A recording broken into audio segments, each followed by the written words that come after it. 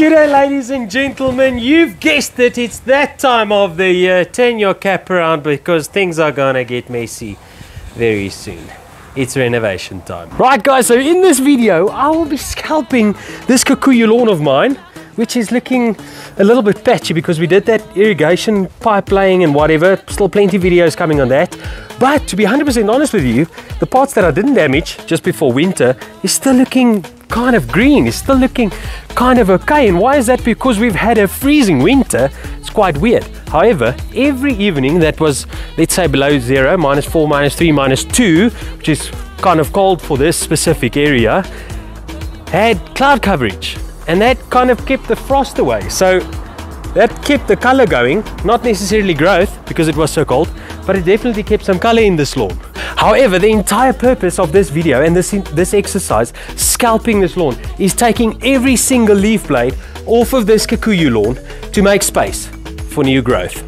You might feel that this step is just a little bit too much effort and I'm turning my cap around because you need to kind of get a grin on your face. You kind of get to uh, become a little bit savage here, ouens because it gets messy. Every year I'm like, no, I'm going to be, you know, gentle. It's going to be a glorious. It's not. It's lelik, ouens. It kind of gets lelik very quickly. I'm to go with that Rolex. I feel sorry for this poor thing. It's still kind of brand new. Let's, we'll see how this Loncin engine keeps up with this Savage Mo. Um, I'm thinking I'm probably going to do about two passes, then it will start bogging up. Then we might see equipment like the YT6702 Scarifier slash Verticutter. But let's just get in with it, on with it, uh, in with, on with it, and see how we go. Let's see how far, how much we can take off before we need alternative equipment. You know, do you need a, a rotary mower? Not necessarily. Do you need a reel mower, cylinder mower? Not necessarily. Take the oldest thing that you've got with the bluntest blade because like I say, you will probably ding, ding the blade, you will probably cut into some lelike goed. Let's just, I'm just going to stop talking. Let's just start mowing.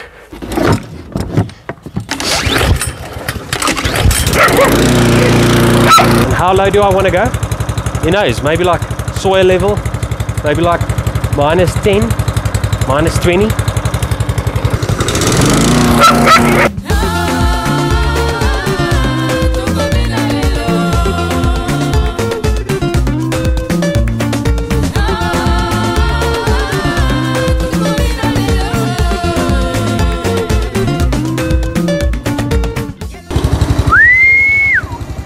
Starting to properly eat into the grass here.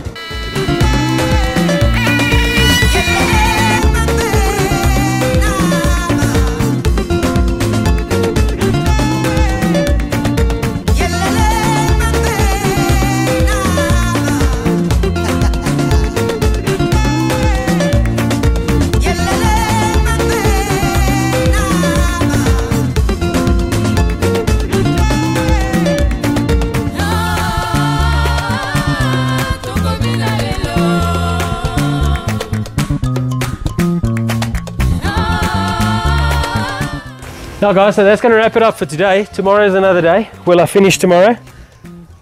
I'm not convinced. But I've made some progress at least. I've done about uh, four passes. I'm at the lowest setting of that um, mower.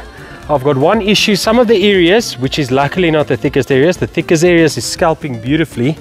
Some of those areas it's not low enough to cut into it. Then we're going to come through with a scarifier, lift those grass up and cut it off once. This is the amount of clippings that I came up with. I'm actually busy renovating my trailer as well, but that's uh, very slow progress. But look at the amount of clipping zones.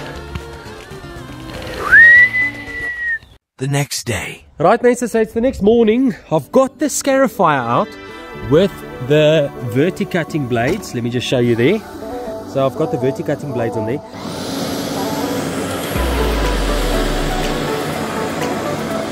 That's looking good, guys. Check there. So it's really pulling up the grass here, and I'm almost 100% sure when I come over this with a mower now, it'll be way easier to chop a lot of it off.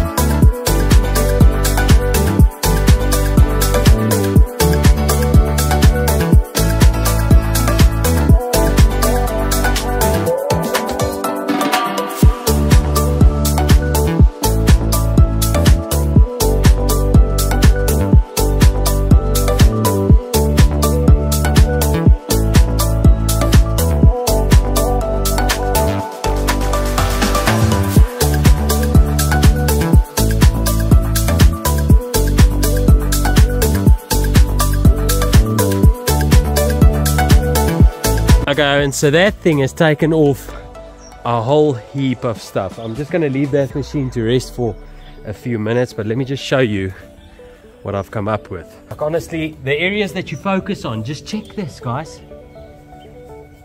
That is... I'm going to bring the Rolex through here now at quite a high setting and try and pick up these clippings or cuttings, but it's properly cutting like runners off. Just have a look at that.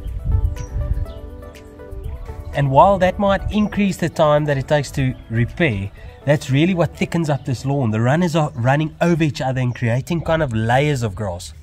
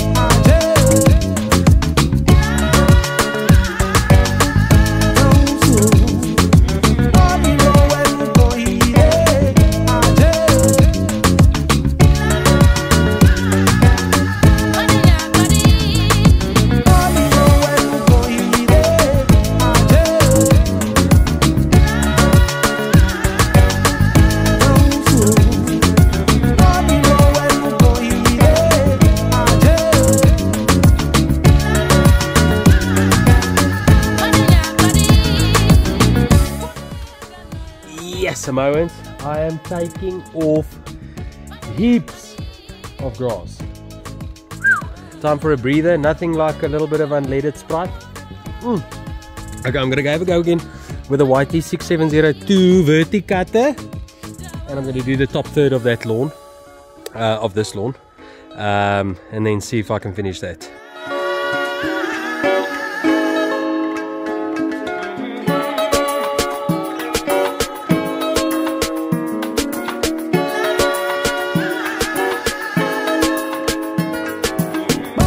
Guys, I absolutely hate to do this to this machine, but I'm telling you, it's made such a big difference up to this point.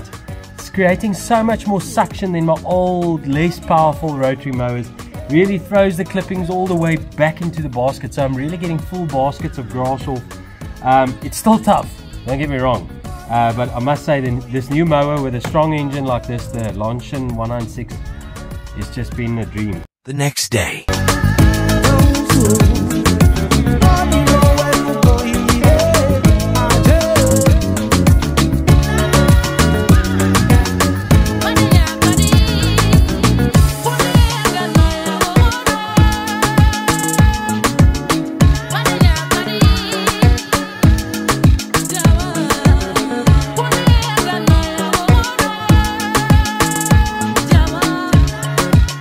Right guys, so that wraps up the scalping. Let me show you the results that I came up with.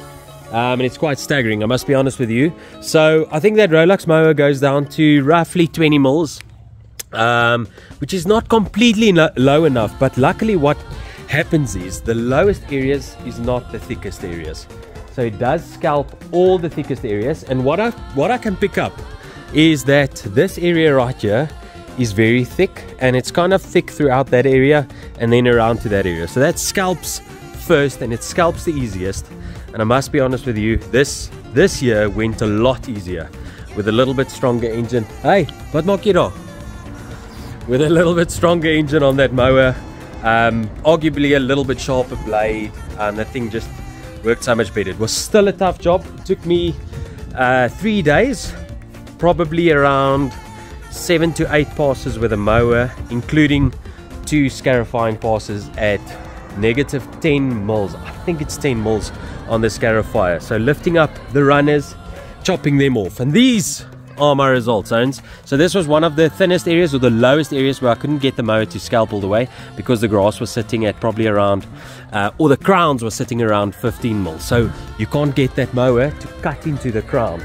Um, obviously I want to do a video in the future where we adjust the height of the blade. I'm not 100% sure if I'll succeed in that of the rotary blade. Um, then drop it down, you know, lower to the wheel level to try and get to cut it a little bit lower. But this is more than sufficient. Let's just have a look at this. I've got exposed soil absolutely everywhere. And now when we put through put put sand on this, it's not going to take a whole lot of working in because everywhere is exposed soil. It's going to fall through this grass very easily. Yeah guys, so that's going to wrap it up for this video. Thank you so much for watching. If you enjoyed this video, gooi a like there. Even gooi a subscribe. I promise you will not be disappointed. Plenty videos to come. The next one will probably be top dress. Oh no, maybe spiking. Um, and then a top dress, maybe even in the same video. Who knows? I'll see you in the next video. Cheers, bye-bye.